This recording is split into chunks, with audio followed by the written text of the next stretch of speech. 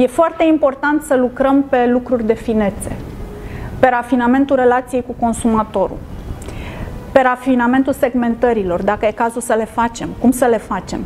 Am citit uh, recent un, un text remarcabil scris de Fernando Vega Olmos.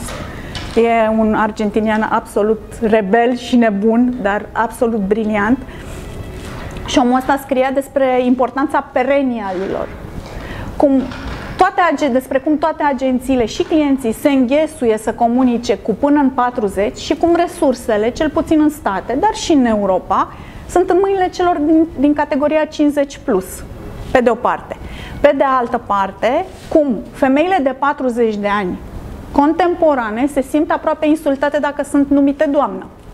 Deci vârsta mentală este cu totul alta decât vârsta biologică și uh, modul în care își trăiesc viața acești oameni care sunt trecuți biologic, să zicem, de 50, dar care au mentalitatea unui forever 35, da, unui, unui, unui 35 etern, uh, este, este absolut fascinant. Și, uh, și agențiile și clienții ar trebui să se uite cu mai multă atenție la acest gen de, de profile. Da?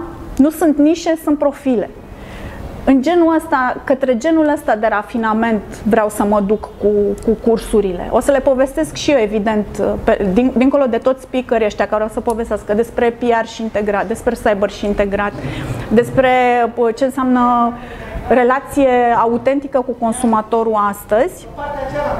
O să le povestesc și eu despre cum, cum văd uh, fenomenul ăsta, mai ales privind lucrurile din, din uh, de, de acum 18 ani de când am început să fiu expusă la festivaluri internaționale către ziua de astăzi.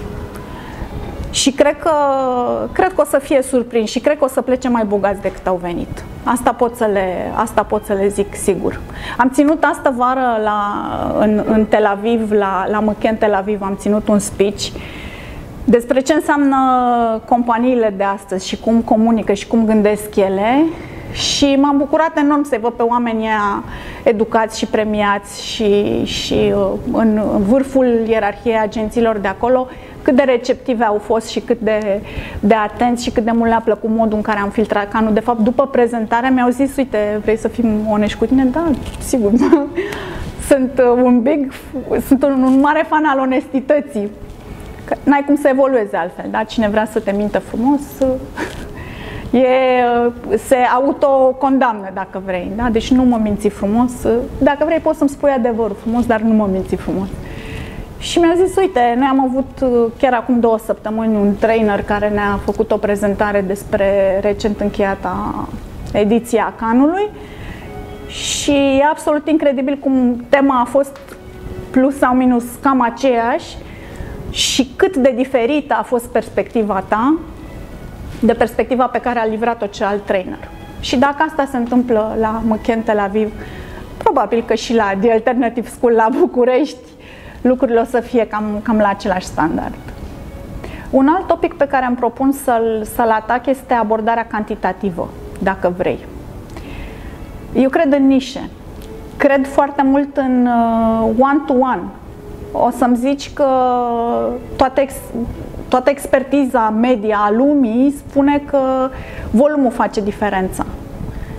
Experiența mea, cel puțin pe anumite, pe anumite categorii de produse, îmi spune fix the opposite. Îmi spune că abordarea one-to-one, abordarea personală, abordarea de comunitate, abordarea miniaturilor, sub nișelor, sub culturilor, Uh, este cea care livrează în cele din urmă. Mai ales dacă știi să alegi entitățile cu o putere incredibilă de, nu numai de influență, dar de fuzionare, dacă vrei, într-un spațiu mult mai mare. Sunt grupuri, sunt entități, sunt personaje și nu mă, nu mă grăbesc să le zic influencer pentru că influencerii au căpătat o reputație foarte proastă și o să, dacă vreți, îți povestesc și despre influencer, care este opinia ăștia care se auto-numesc influencer. Um, dar acum hai să vorbim despre uh, grupurile astea și entitățile astea care reușesc să transmită informație și să schimbe mentalități într-un mod fuzionat, da, la o scară foarte mare. cred că ei ar trebui să fie um, centrul de interes și centrul de curiozitate și subiectul de studiu al agențiilor de media. Pentru că schimbările se produc și se produc relativ repede și se produc în altă parte decât credem noi.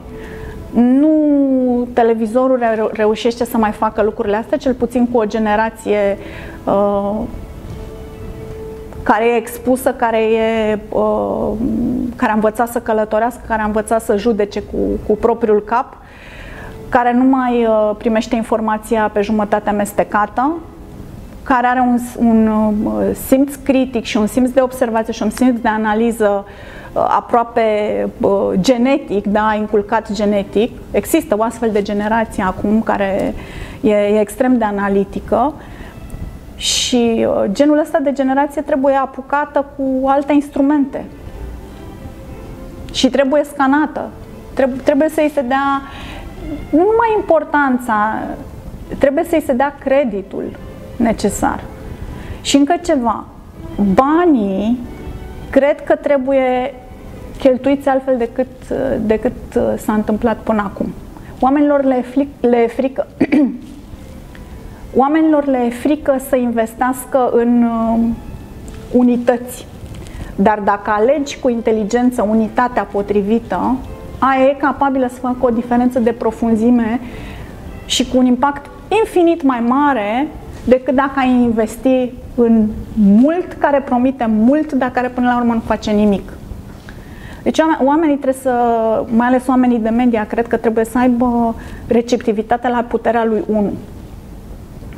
Trebuie să aibă receptivitate pentru, pentru inițiative unitare, dacă vrei, sau individuale, sau de grup restrâns.